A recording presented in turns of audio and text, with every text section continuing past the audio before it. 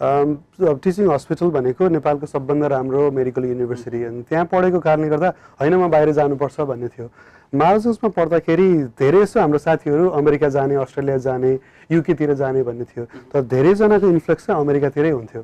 Medical फिल्डमा त्यत्तिकै जबरजस्ती लागेको होइन इन्ट्रेस्ट लागेको त्यो प्यासन थियो पहिलेदेखि नै।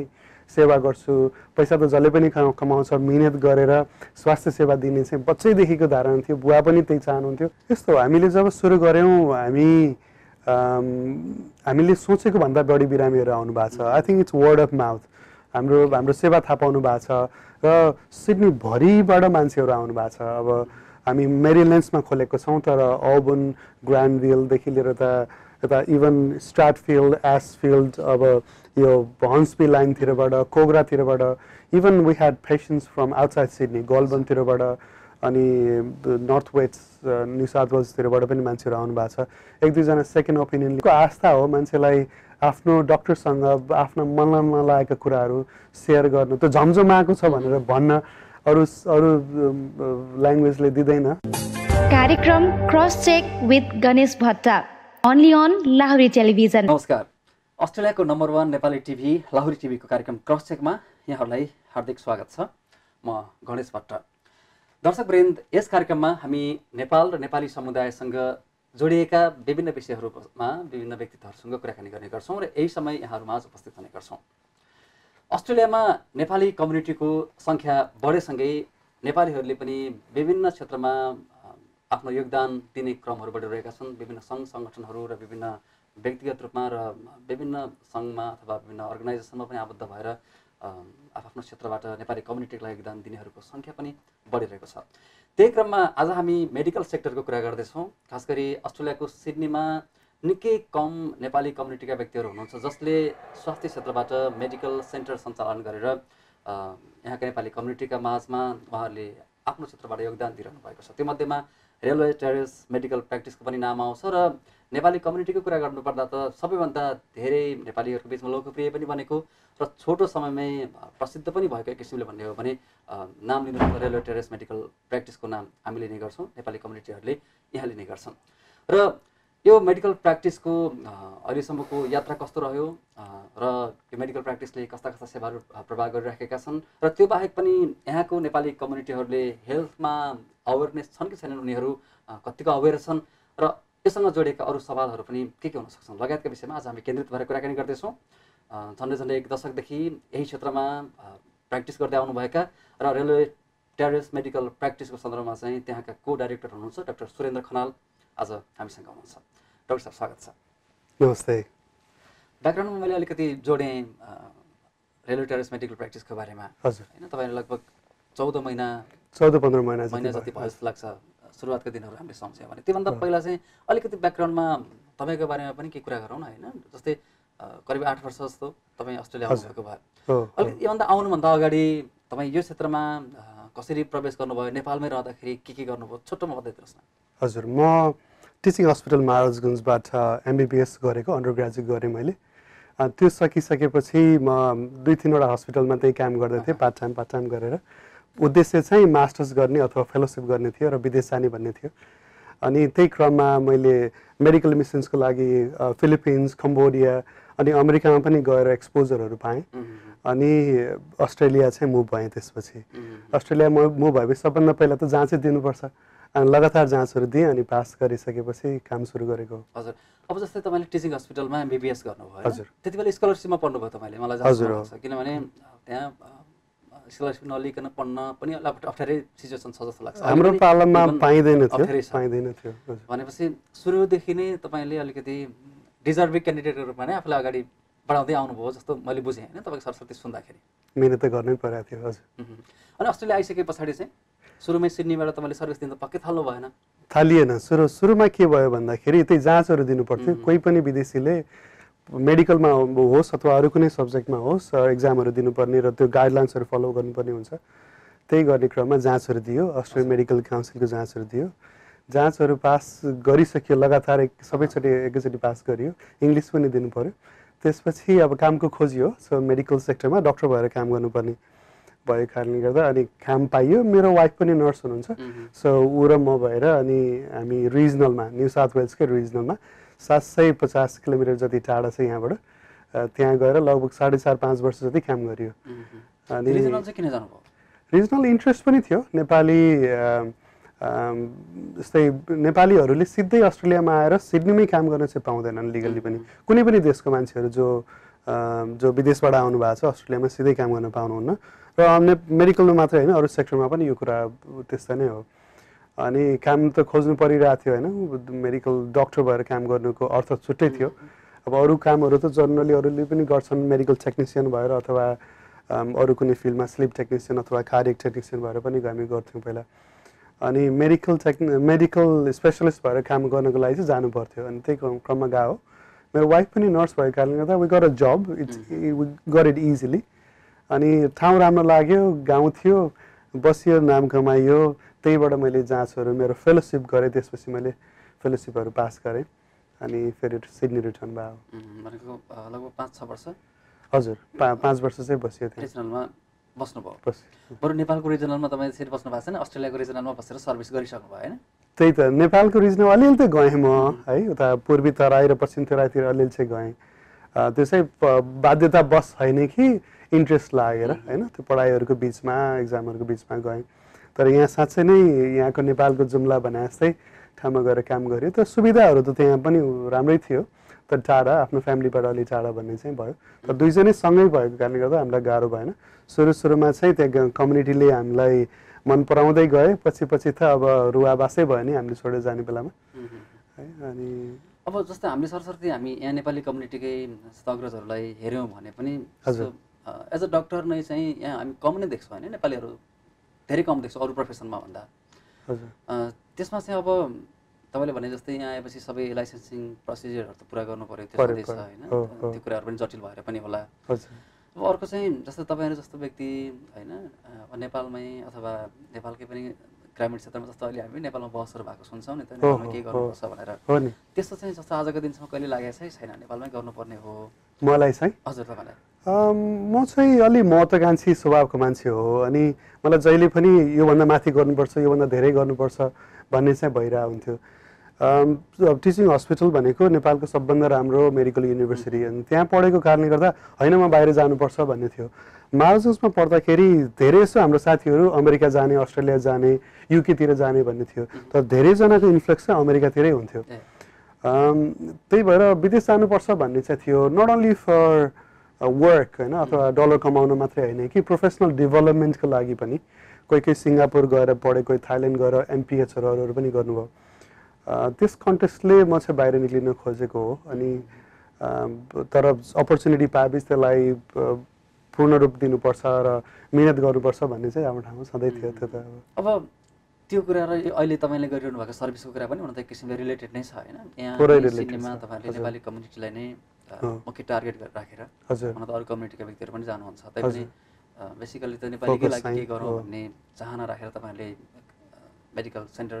मेडिकल प्र्याक्टिस गरिरहनु भएको नै हामी। बुझ्दछौँ।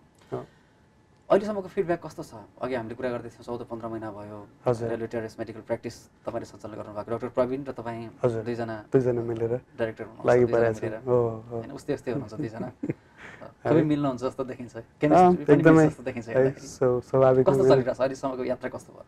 सो हामीले जब स्टार्ट गर्ने भयौँ अफकोर्स इन्फ्रास्ट्रक्चर डेभलपमेन्टमा हामीलाई समय लाग्यो। तर जब हामीले स्टार्ट गऱ्यौँ हाम्रो नेपाली कम्युनिटीबाट एकदमै राम्रो सहयोग मिलेको छ प्रोत्साहन मिलेको छ। हामी मन लागेर लगाएर काम गर- गरेका छौँ र गर्ने इच्छा पनि थियो। त्यही नै चाहेको थियौँ हामीले। अब मेडिकल फिल्डमा त्यत्तिकै जबरजस्ती लागेको होइन इन्ट्रेस्ट लागेको थियो प्यासन थियो पहिलेदेखि नै। सेवा गर्छु पैसा त जसले पनि कमा- कमाउँछ मिहिनेत गरेर स्वास्थ्य सेवा दिने चाहिँ बच्चैदेखिको धारणा थियो। बुवा पनि त्यही चाहनुहुन्थ्यो मैले पनि त्यही चाहन्थेँ म आमाले पनि त्यही चाहनुहुन्थ्यो। अनि त्यसलाई चरितार्थ गर्न पूर्ति गर्न चाहिँ ठुलो इन्ट्रेस्ट थियो। त्यही भएर जे काम गर्दा पनि मन लगाएर गरिन्थ्यो। यो पनि आफ्नो हो भन्ने पनि प्लस भयो। तर आफ्नै देशका जनताहरूलाई सेवा गर्न पाउनुको रमाइलो अर्कै भएछ। अब म रिजनलमा काम गर्दाखेरि नेपाली भनेको म र मेरो वाइफ अनि मेरो बुवा आमाहरू आउनुभयो मेरो छोरो जन्मियो त्यही गाउँमा। त्यति बेला त्यही चार पाँचजना मात्रै भयो हामी नेपाली भनेको। तर गाउँका सबै मान्छेले हामीलाई उत्तिकै माया गर्थे। केही पाकेको छ भने ल्याएर छोडिदिन्थे केही फलेको छ भने ल्याएर छोडिदिन्थे दसैँ आएछ भने खसी काटेर ल्याएर राखिदिन्थे। ती माया सद्भाव सधैँ थियो तर त्यो नेपालीलाई चेक गर्न पाइया थिएन। अलिकता इन्डियन भारतीय लोकका मान्छेहरू हुनुहुन्थ्यो त्यो उहाँहरूलाई अलिअलि चेक गरियो त्यही गर्दा पनि रमाइलो लाग्थ्यो। यहाँ आएर त आफ्नै साथ साक्षात्कार जस्तो चाहिँ मलाई फिल भयो। तपाईँ अलिकति भावनात्मक कुरा पनि जोडिहाल्नु भयो होइन जस्तो बुबाहरू आउनु भएको होइन। नेपालीले एउटा नेपालीको छोरो डक्टरले अस्ट्रेलियामा। यहाँका मान्छेलाई सेवा दिइरहेको। हजुर। बुवा कतिको खुसी हुनुहुन्थ्यो त्यति बेला? अहिले पनि खुसी हुनुहुन्छ। पहिला पनि खुसी हुनुहुन्थ्यो। आमा पनि बुवा हामी अहिले मसँगै हुनुहुन्छ। हजुर। त्यो so proud of what do एकदमै खुसी हुनुहुन्छ। र हाम्रो चाहना पनि त्यही हो। मेरो आफ्ना बुवा आमा कसैले पनि त्यही चाहनुहुन्छ होला। आफ्नो बुवा आमालाई त्यो खुसी त्यो त्यो प्राउड बनाउनु पाइयो भने मेरो छोराले पनि त्यस्तो गर्यो भने I am more than happy for what what he would धेरै खुसी हुनुहुन्छ होइन? अवश्य। जस्तो उहाँ तपाईँको गाउँमा गएर- गाउँमा जानुभयो भने पनि हजुर हो नि हो नि। निकै खुसी हुनुहुन्छ होला। अवश्य अवश्य। ठिक छ। अब यहाँ फर्केर हामी जस्तो हामी येलो टेरस मेडिकल प्र्याक्टिस तपाईँले जो सञ्चालन गरिरहनु भएको छ। त्यसको कुरा गरिरहेको थियौँ। के के सर्भिसहरू दिनुहुन्छ अथवा यहाँ जो जो क्लाइन्ट्स भनौँ न होइन जो जो नेपाली कम्युनिटी अथवा अरू कम्युनिटीमा जो जो यहाँ छन्। तपाईँहरूबाट सेवा लिन चाहनुहुन्छ उहाँहरूले। उहाँहरूले चाहिँ त्यहाँबाट पाउने सुविधाहरू के के छन् अब हामी स्पेसलिस्ट जेनरल प्र्याक्टिसनरहरू हौँ अर्थात् जेनरल प्र्याक्टिसको पनि स्पेसलिस्टहरू हौँ हामीले ओभरअल तपाईँको तपाईँको डक्टर को भन्दाखेरि चाहिँ त्यो मान्छे त्यो स्वरूप लिने मान्छे चाहिँ हामी जेनरल प्र्याक्टिसनरहरू हौँ। नर्मल हामीले जेपी जसरी GP भनेर भन्छ। त्यसमा र तपाईँले भन्नुभएको स्पेसलिस्ट भनेको चाहिँ फरक हो? जिपी पढिसकेर फेलोसिप गरिसकेको मान्छे चाहिँ स्पेसलिस्ट हो। उहाँले चाहिँ फेलोसिप गर्नुपर्छ general royal college of general प्र्याक्टिसबाट त्यो गरिसकेपछि स्पेसलिस्ट हुनुहुन्छ। अनि हाम्रो क्लिनिकमा चाहिँ जेनरल प्र्याक्टिसले प्रोभाइड गर्ने सबै सुविधाहरू छ। अर्थात् छोरा मान्छेको सेवा छोरी मान्छेको सेवा बच्चाहरूको सेवा भ्याक्सिनेसनको कुरा प्रेग्नेन्सीको कुरा ल्याब पनि हामीसँग छ। हामीसँग एलाइड हेल्थहरू पनि हुनुहुन्छ डायट्रिसियनहरू हुनुहुन्छ फिजियोथेरापिस्ट अनि पोडाइट्रिस्ट खुट्टाको जाँच गर्ने डक्टर हुनुहुन्छ अनि त्यसपछि अनि साइकोलोजिस्ट पनि हुनुहुन्छ। अनि कम अहिलेको नेप्लिज कन्टेक्समा साइकोलोजिस्ट पोडाइट्रिस्ट फिजियोथेरापिस्ट सबै फुल्ली बुक्ड र इन्भल्भ पनि हुनुहुन्छ। हामीले अहिले रिसेन्टली कार्डियोलोजिस्ट पनि ल्याएका छौँ। र फ्युचरमा पिडियाट्रिसियन अनि त्यसपछि साइकियाट्रिस्ट ग्यास्ट्रोन्ट्रोलोजिस्ट ल्याउने पनि हाम्रो प्लान छ। So it's a full complete clinic it's a central of excellence भनौँ। सबै सुविधाहरू उपलब्ध छ। अब अब हामीले ल्याब पनि त्यही सुविधा भएको कारणले गर्दा त्यो अझै सजिलो भएको छ हाम्रा पेसेन्टहरूलाई। हामीले चाहन्छौँ पनि त्यही। उहाँहरू आउनुभयो भने सबै केयर पाइयोस् भनेको कुरा बुझ्न पाइयोस् भाषा उहाँको बुझ्न पाइयोस् हामीले भनेको कुरा बुझ्न पाइयोस्। त्यो त्यो त्यो त्यो- त्यही नै हो हाम्रो चाहना। तपाईँले भनिसक्नुभयो तपाईँहरू जो त्यहाँ हुनुहुन्छ तपाईँहरू दुवैजना जनरल प्र्याक्टिस स्पेसलिस्ट हुनुहुन्छ। हजुर। त्यसमा पनि तपाईँ चाहिँ royal Australian college of general प्र्याक्टिसमा तपाईँ त्यसको मेन इक्जामिनर पनि हुनुहुन्छ होइन? मेन एक्जामको एक्जामिनर म अस्के एक्जामिनर हो। हजुर। हुनुहुन्छ। अब तपाईँले अघि भने अनुसार मैले के बुझेँ भने सामान्यतया अरू मेडिकल प्र्याक्टिसहरू यहाँ जति छन् हजुर। उनीहरूमा भन्दा कुनै पनि सुविधामा कमी छ अवश्य छैन कमी त? अवश्य छैन। अहिले ओभरअल डेली चाहिँ भिजिट कति हुन्छ? अथवा हुन त त्यो त डे टु डे फरक हुन्छ होला त्यही पनि एउटा ओभरअल भन्दाखेरि चाहिँ। यस्तो हामीले जब सुरु गऱ्यौँ हामी हामीले सोचेको भन्दा बढी बिरामीहरू आउनु भएको छ। I think it's word of mouth हाम्रो हाम्रो सेवा थाहा पाउनु भएको छ। र सिडनीभरिबाट मान्छेहरू आउनु भएको छ। अब हामी मेरिलेन्समा खोलेको छौँ तर अबन ग्रान्डभिलदेखि लिएर त यता इभन स्ट्राटफिल्ड एसफिल्ड अब यो हन्सपी लाइनतिरबाट कोग्रातिरबाट even we had patients from outside Sydney गोल्बनतिरबाट अनि नर्थ वेस्ट न्यु साउथ वेल्सतिरबाट पनि मान्छेहरू आउनु भएको छ। एक दुईजना सेकेन्ड ओपिनियन लिन अलिक परैबाट पनि आउनु भएको छ।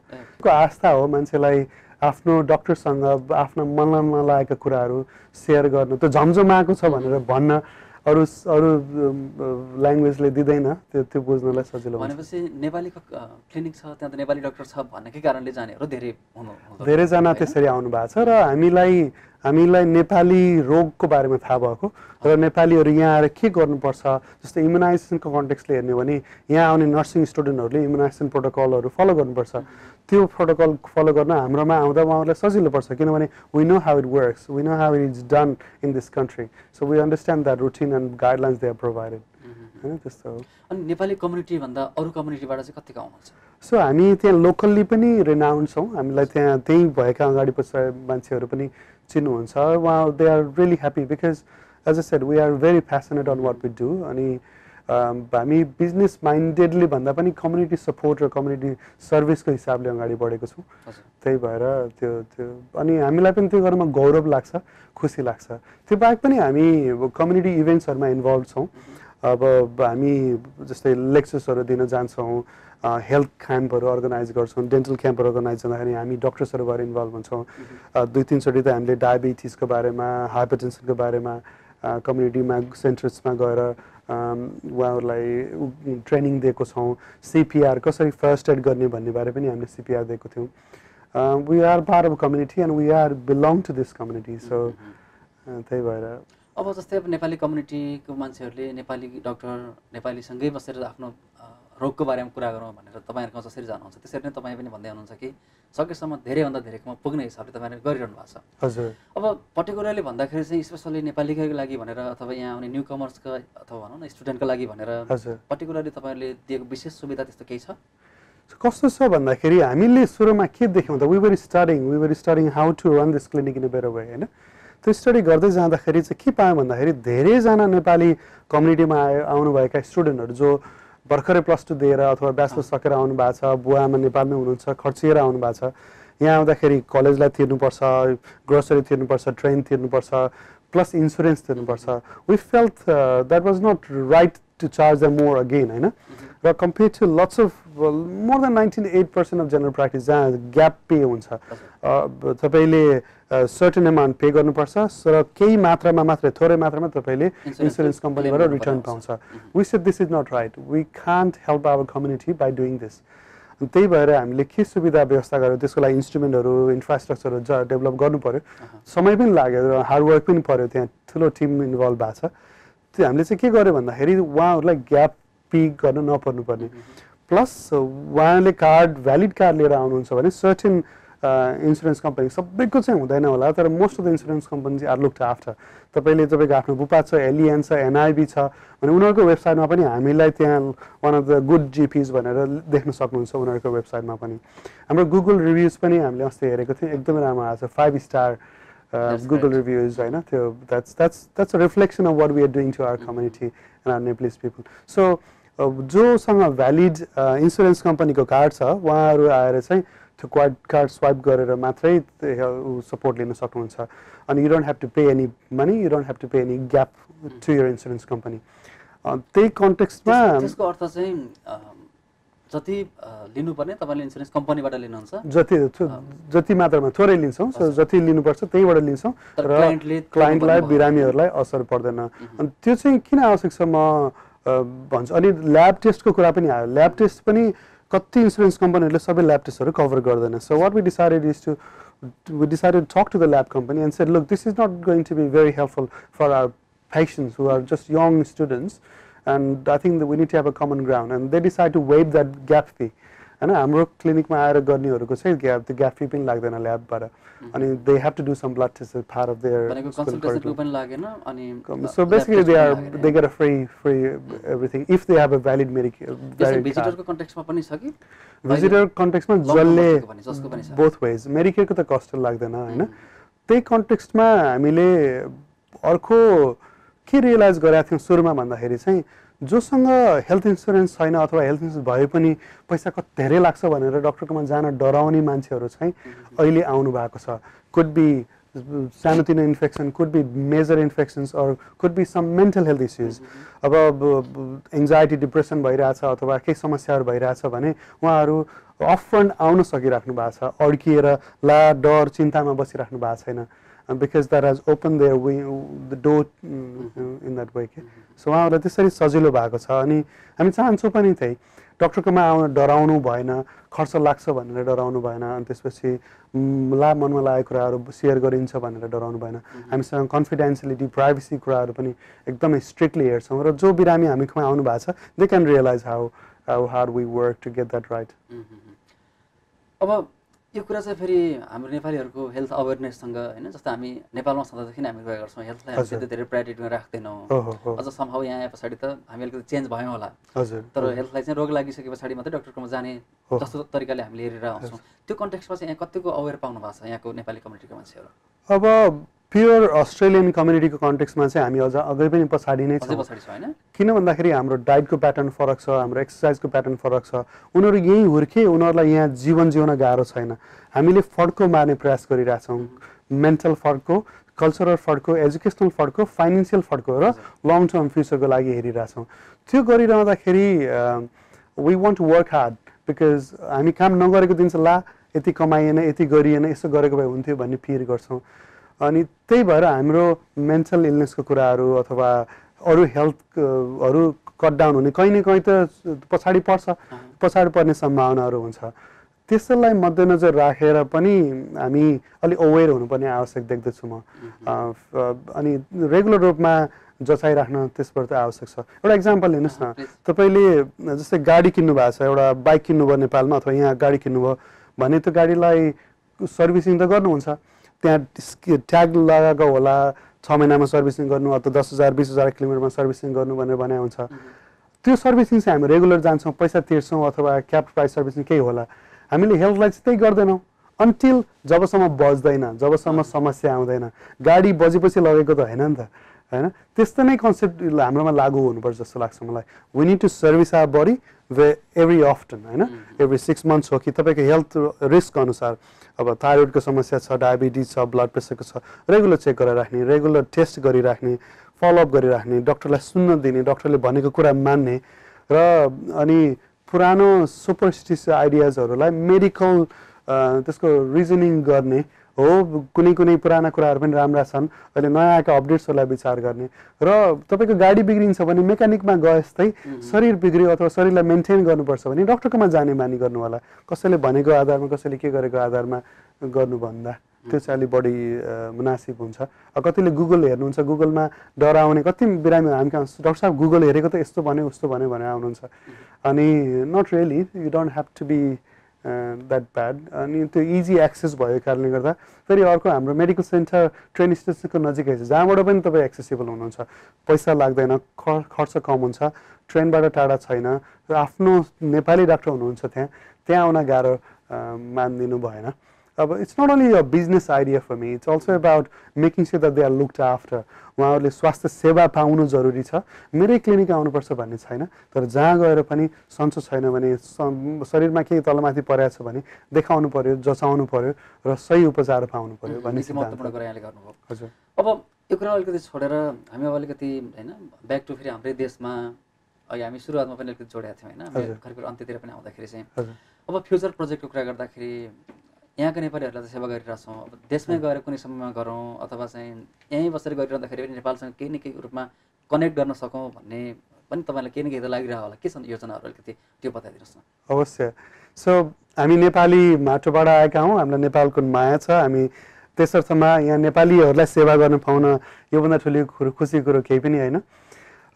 त्यही कन्टेक्स्टमा हामीले यहीँ नेपालीहरू जो बुवा आमा आउनु भएको छ जो यहीँकै रैथानीहरू हुनुहुन्छ। उहाँहरूलाई पनि ट्रेनिङ दिइरहेछौँ त्यो is a part of the thing तर हामी हाम हामीसँग इन्भल्भ भएका थुप्रै साथी डक्टर साथीहरू हुनुहुन्छ। हाम्रो टिम नेपालमा गएर जस्तै भूकम्प पीडित बाढी पीडितहरूलाई सहयोग गरिरहेका छौँ। Plus not only through our clinic but as as a whole Nepalese doctors community छ हाम्रो। त्यहाँबाट अनि फन्ड रेडिङ रेजिङहरू पनि गरिरहेका छौँ। अनि हाम्रो पनि इन्ट्रेस्ट नेपालमा गएर गाउँठाउँमा सेवा गर्ने हो। म आफै पनि नेपालमै हुँदै मेडिकल स्टुडेन्ट हुँदा र आफ्टर द्याट मलाई गाउँ गाउँमा गएर सेवा दिन मन पर्थ्यो। म एक हप्ता गोसाइकुण्डमा गएर त्यो चिसो थियो गोसाइकुण्डको डाँडामा थुप्रै त्यो माउन्टेन सिकनेस लागेका बिरामीहरू हेरेर एक हप्ता बिताएको छु। अन्नपूर्ण बेस क्याम्पतिर गएर त्यहाँ बिरामीहरू हेरेको छु। अल्ट्रासाउन्ड मसिन बोकेर गाउँ गाउँमा त्यो प्रेग्नेन्ट लेडीहरूलाई चेक गरेको छु। अनि थुप्रै हेल्थ क्याम्पहरू अर्गनाइज गरिन्थ्यो। यहीँ पनि त्यही भएर गरिएको हो। म फिलिपिन्स गएको कारण पनि त्यही हो। कम्बोडियामा पनि गएर त्यो गरेको थिएँ। अनि उता अमेरिकामा हुँदा फ्लोरिडामा हुँदा पनि हेइटीको अर्थक्वेक भएको थियो त्यति बेला।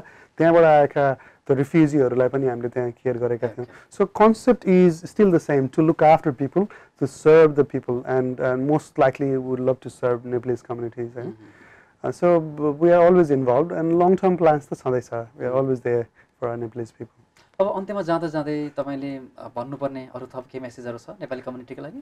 अघि भनेकै कुरालाई फेरि म त्यसलाई फोकस गर्छु। Do not wait for the last minute make sure the you look यो हेल्थ इज लुक्ड आफ्टर होइन? तपाईँले आफ्नो स्वास्थ्यलाई चाहिँ ख्याल गर्नुपर्छ। अम, बिग्रिनै पर्छ भन्ने छैन। रेगुलर रूपमा डक्टरलाई देखाउने रेगुलर रूपमा चेकहरू गरिराख्ने रेगुलर रूपमा फलोअपहरू गरिराख्ने भनेको कुराहरू सुनिदिने गर्नुपर्छ। त्यसअनुसार हो काम धेरै छ अनि एजुकेसनल डिमान्डहरू धेरै छ पढाइ गाह्रो छ म बुझ्छु तर त्यो सधैँ रहँदैन। त्यसपछि जब सहज हुन्छ जब भ्याउनुहुन्छ एक्सर्साइजहरू गर्ने गेम्सहरू खेल्ने पार्क्सहरू धेरै टाढा छैन। होइन? अनि आफू स्वास्थ्यलाई चाहिँ अन टप अप राख्नुपर्छ जस्तो लाग्छ। नत्र भने कुनै न कुनै दिन स्वास्थ्य बिग्रिन्छ। स्वास्थ्य बिग्रिन्छ त्यसलाई बनाउन गाह्रो हुन्छ। हेल्थ इज वेल्थ जब स्वास्थ्य बिग्रिन्छ होइन? अरू अरू कुराहरू त्यति महत्त्वपूर्ण रहँदैनन्। र जसलाई समस्या परेको छ उहाँहरूले बुझ्नु पनि भएको छ। र हामी पनि त्यही बुझाउने प्रयासमा छौँ। आफ्नो स्वास्थ्यलाई ख्याल गर्नु होला हुन्छ डाक्टर साहब यहाँलाई धेरै धन्यवाद। यो बोलाइदिनु भयो। खुसी लाग्यो. Thank you for having me thank you हवस् त आजको कार्यक्रममा हामीले कुराकानी गऱ्यौँ रेलवे टेरेस मेडिकल प्र्याक्टिसका को डाइरेक्टर डाक्टर सुरेन्द्र खनालसँग। उहाँसँग केही कुराकानीसँगै आजको लागि कार्यक्रमबाट सम्पूर्ण युनिटका साथमा मलाई पनि बिदा दिनुहोस्। नमस्ते। कार्यक्रम क्रस चेक विथ गणेश भट्टा ओन्ली अन लाहुरी टेलिभिजन